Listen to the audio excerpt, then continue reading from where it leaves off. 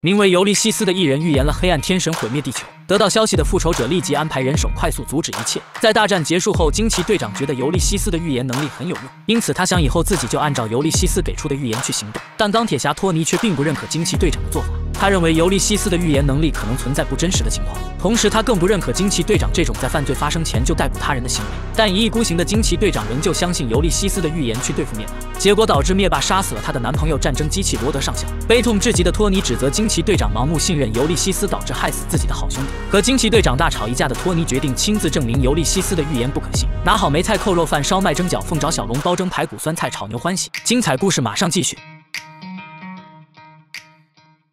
视角来到异人族家园新阿提兰，身穿隐形装甲的托尼趁着夜色潜入了阿提兰。虽然身穿隐形装甲，但他还是非常小心。经过一些时间的搜索后，他来到一个房间内。托尼来到这里要找的人正是这一切事件的导火索尤利西斯。托尼看着尤利西斯陷入沉默，脑海中浮现的是他和好兄弟罗德的往日欢乐画面。这时候，一个声音打断了托尼的回忆。托尼没有回头，但他也知道出现在身后的是美杜莎。美杜莎劝托尼赶紧回去，不要脑子一热做错事。但是托尼不听，他表示自己要带走尤利西斯。听到这个要求的美杜莎当然也不同意。就在谈话的时候，托尼听到星期五提示机甲发生破损，托尼人傻了，我都还没开打，怎么就机甲破损了？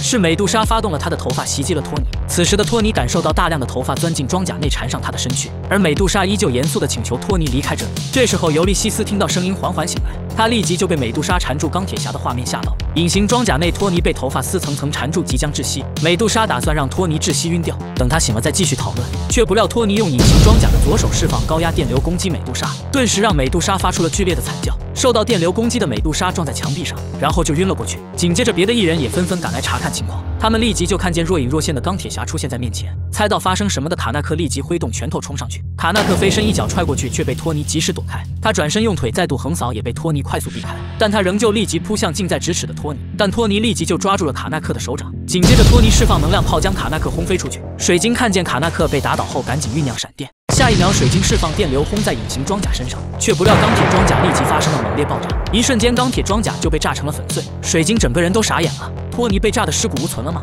这时候姗姗来迟的野兽扶起美杜莎，表示那是托尼的远程遥控的装甲。和美杜莎打完后，托尼就隐身跑了，而托尼还趁机把尤利西斯抓走了。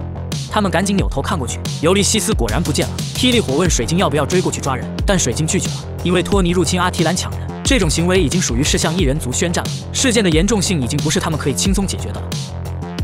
当晚，视角来到三飞市，此时的惊奇队长已经接收到了托尼入侵阿提兰的消息，也同时知道了异人族强者们正在前往史塔克大厦。一小会后，异人族们来到了史塔克大厦，暴躁的卡纳克大喊让托尼史塔克滚出来。人工智能星期五表示异人族们无权进去大厦。卡纳克指着星期五一顿臭骂，但是没什么效果。于是卡纳克直接越过星期五，打算拆了史塔克大厦。美杜莎劝卡纳克不要鲁莽，拆掉大厦并没什么好处。就在这时，美杜莎发现惊奇队长他们赶来了。惊奇队长带领一众英雄和大量神盾局特工，宛如天神一般从天而降。他是来劝异人族不要意气用事的。惊奇队长表示自己会为托尼做的事给一个交代，不仅会归还尤利西斯，还会让托尼道歉。现在的情况是不要让这件事上升到英雄异人族与美国的友好关系。美杜莎表示惊奇队长该去抓托尼，而不是来阻止他。卡纳克也表示惊奇队长本来就应该阻止托尼做这一切。美杜莎觉得自己的族人尤利西斯用能力帮助了惊奇队长预言了危机，结果惊奇队长就这种态度来处理这起绑架事件。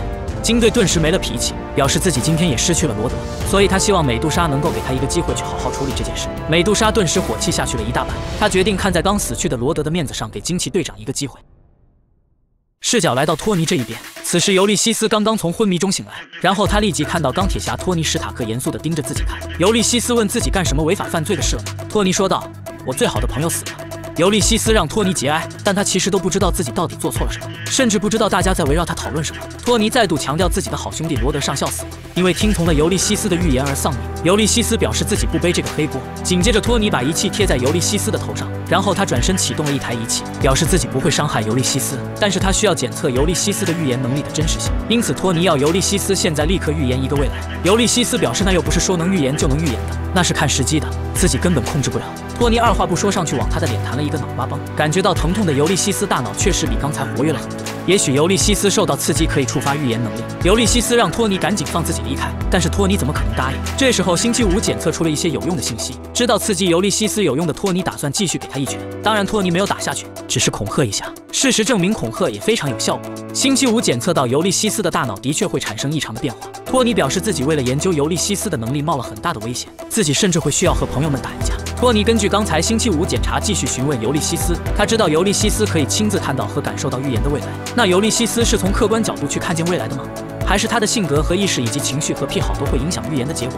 尤利西斯听到这些的时候感到很奇怪。托尼表示，尤利西斯完全有可能因为自己的偏好来影响预言。尤利西斯表示自己没什么特别的偏好。他表示，托尼如果只是研究这些，完全可以请他过来。而托尼表示自己的好兄弟因为他的预言而死，他可没什么好心情做那些事。这时候，托尼接收到星期五的警报声，是惊奇队长带着一众超级英雄来抓托尼了。托尼立即给尤利西斯解开身上的绳子，他弄干净尤利西斯身上的灰尘，让他装开心点，表现的就好像没有在这里受到折磨一样。而他已经让星期五下载了一份尤利西斯的大脑模拟。这时候，墙壁忽然被雷神之锤砸开，惊奇队长带着超级英雄们来到托尼史塔克的面前。现在，托尼史塔克彻底无路可逃了。惊奇队长表示，托尼做了一件很大的错事，可是托尼仍旧不认为自己做的事有什么错，因为惊奇队长通过尤利西斯的预言去对付灭霸，结果导致了罗德上校的死亡和女浩克的重伤。事实上，惊奇队长可能害死在场的任何人。猎鹰美队打断托尼的话，表示托尼绑架了尤利西斯。托尼立即搂着尤利西斯的肩膀，表示自己很友好。尤利西斯沉着脸表示自己被托尼折磨。惊奇队长觉得托尼的精神状态不对，托尼则是觉得自己当然不对，他快要被这件事情折磨疯了。在托尼和惊奇队长吵架时，尤利西斯似乎很痛苦。当他再度睁开眼时，眼珠子变成了红色，是尤利西斯的预言能力突然发动了。一幕极其恐怖的画面出现在在场所有人的脑海当中，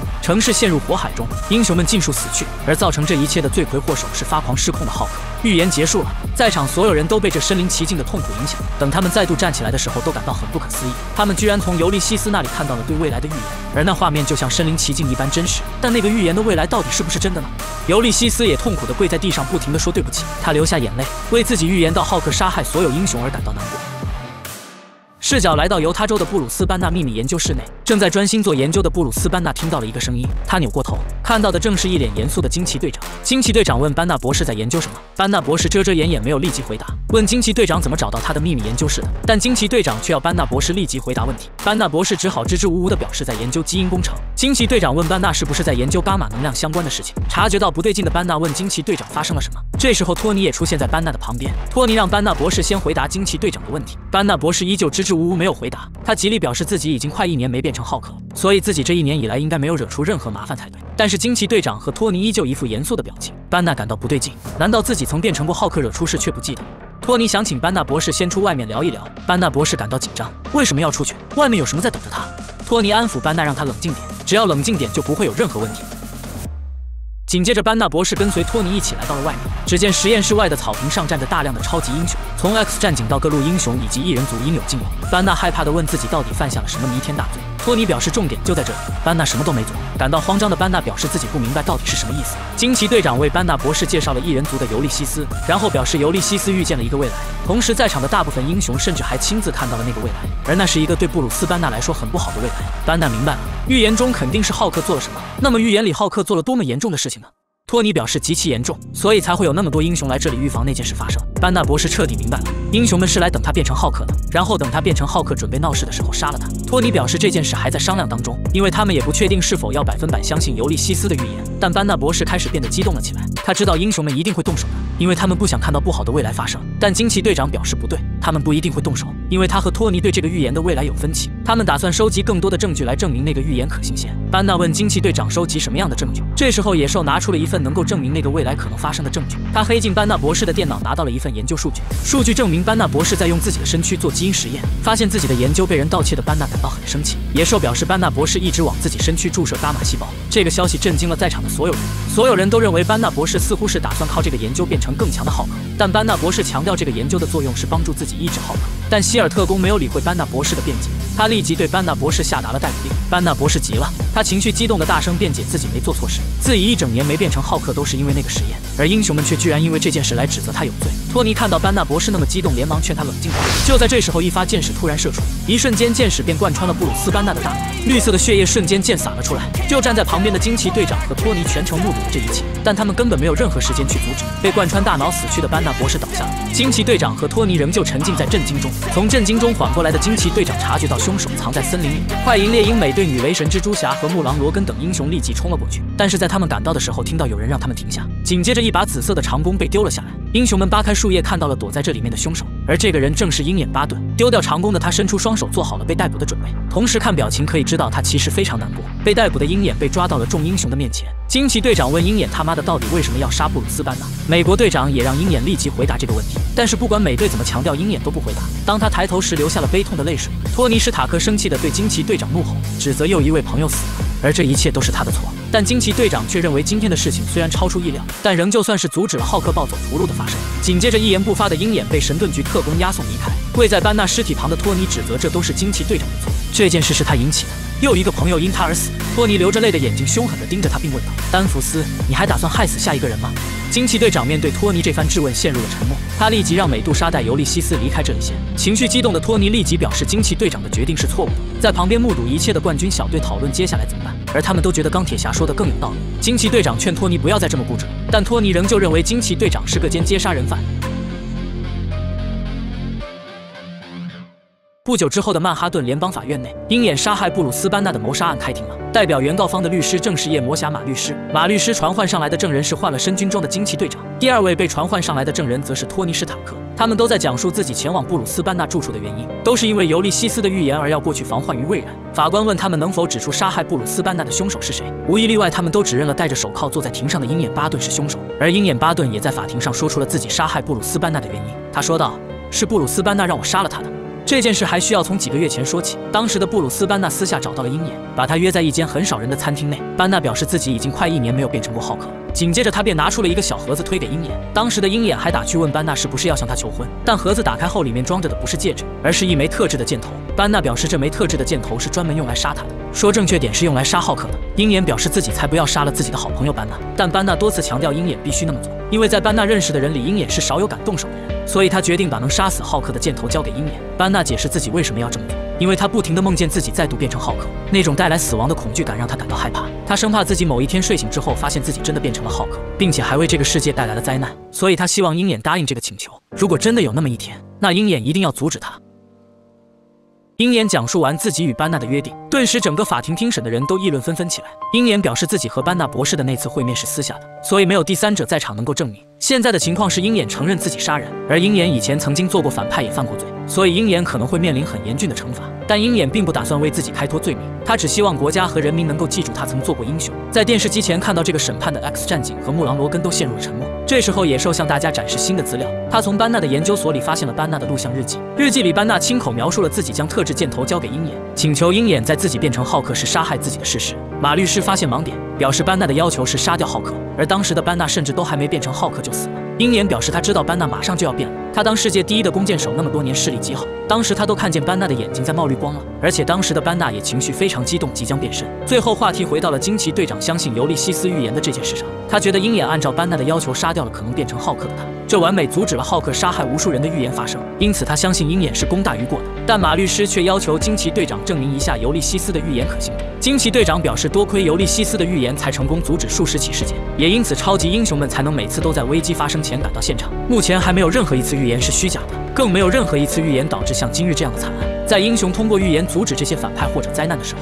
没有人像布鲁斯班纳一样被人谋杀。而托尼却对惊奇队长这番话感到愤怒，他想要证明惊奇队长是错误的。但马律师阻止托尼在这里发飙，因为这里是法庭，不能乱吵架。最后，法庭对这起案件给出了最终裁决，审判结果便是鹰眼无罪释放。法庭与陪审团都认为鹰眼并没有犯下谋杀罪。